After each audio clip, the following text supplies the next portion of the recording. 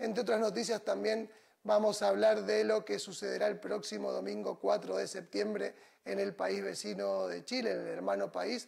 Después de estos años de lucha, de resistencia, el pueblo logró que se convocara una, a una reunión a donde participaron diferentes constituyentes de diferentes partidos y también de organizaciones sociales para establecer una nueva constitución después de años de la constitución pinochetista y este próximo domingo 4 de septiembre entonces se realiza el plebiscito donde la población de Chile deberá aprobar o rechazar esta nueva constitución. Y para hablar de ello estamos con Pablo Meuli, que él es miembro del colectivo de organizaciones sociales del Alto Valle, que en este caso está participando también de la campaña del apruebo en Temuco, y con Jorge Romero Fuente, que es parte del comando de la Araucanía por el apruebo. Eh, hola compañeros, ¿cómo les va por allá por, Chile? Hola, hola, ¿qué tal? Buenos días. Eh, ya finalizando este proceso, en dos días más, la ciudadanía se va a pronunciar, esperamos que favorablemente, para abrir un nuevo proceso constituyente y dar cumplimiento a la promesa que hiciéramos hace dos años, un poco más, para el estallido social, que en el país donde había surgido el neoliberalismo lo íbamos a enterrar. Acá en la provincia de Mendoza en particular hay alrededor de 1.700 personas que están en condiciones de poder participar del plebiscito. ¿Cómo ven ustedes, qué perspectivas tienen frente a los resultados, teniendo en cuenta de que también hubo una campaña de desinformación en, Chile en relación a lo sucedido con eh, diferentes discursos que se daban de las consecuencias que podía traer para los chilenos el apruebo de esta nueva constitución. Mira, sin lugar a duda que eh, los, eh, los poderosos económicamente tienen clara conciencia de que eh, este cambio constitucional significa a ellos ponerlos en una situación inconfortable, eh, porque se va a regular eh, el, saqueo al que han sometido a nuestro país, particularmente en lo que tiene que ver con la extracción de riquezas básicas. Por lo tanto, ellos han desplegado todos sus recursos, han movilizado sus medios de comunicación, tienen una alta concentración de los medios de comunicación y han desarrollado una campaña basada en mentiras y que básicamente buscan asustar a la población de que este cambio pudiese ser eh, catastrófico, etcétera, etcétera.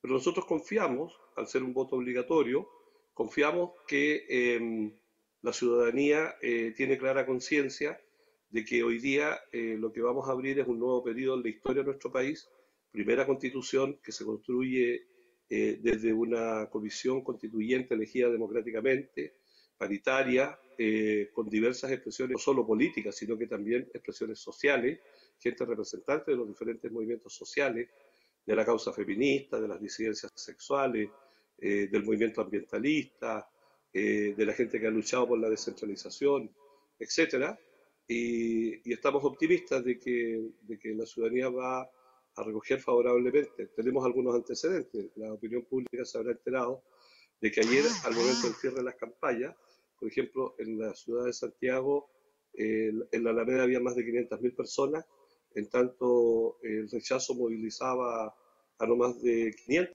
personas en un evento cerrado, ¿ya? Eh, sin ni una mística, sin ni una gracia. Yo creo que la ciudadanía ha entendido que aquí lo que se confrontan son intereses versus principios.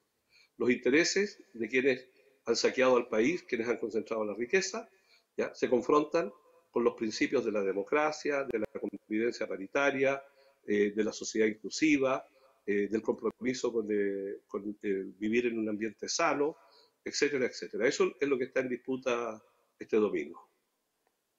Bueno, eh, Jorge, le agradecemos y agradecer también a Pablo que nos cuente un poco, además de agradecer, que nos cuente un poco por qué él como ciudadano argentino, como militante social, ha decidido participar de, esta manera y estar eh, en estos momentos importantes en Chile, estar ahí siendo parte de este hecho histórico.